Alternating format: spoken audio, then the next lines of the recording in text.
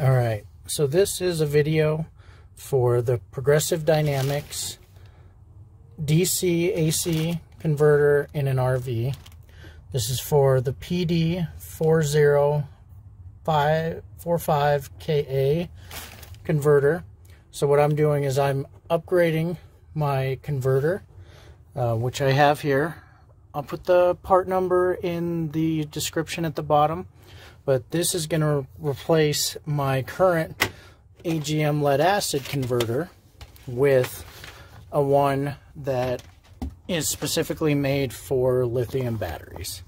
And so these actually don't take too much effort to get this to come apart. Um, this is your converter.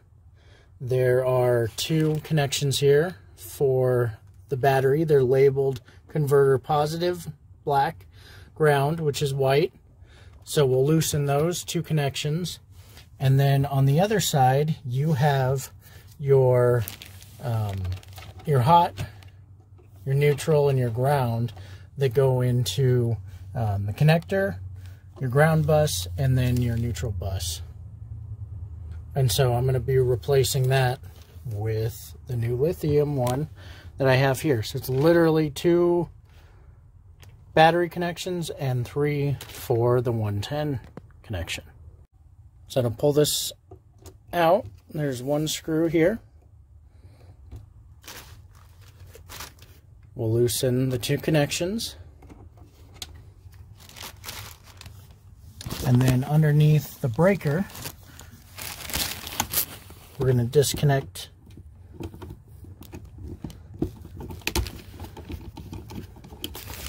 connection there. We'll disconnect there and reconnect.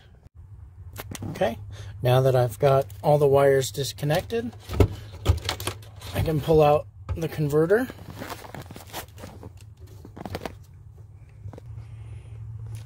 Which that just slides right out.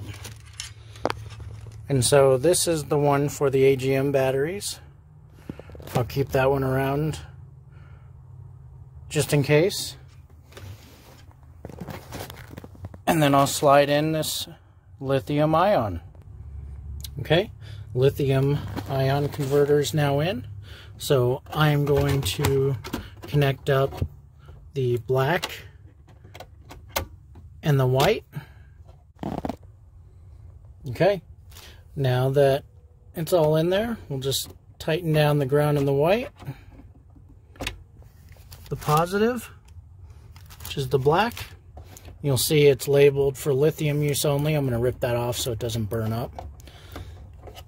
Got that all tightened up. And then our 110 side. Come over and tightened up the,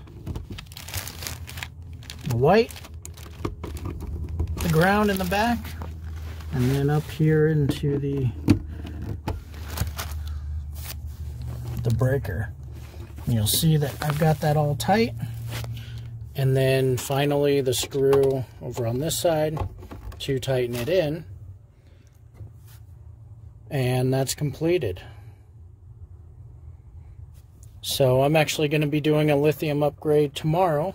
And so prepping for that.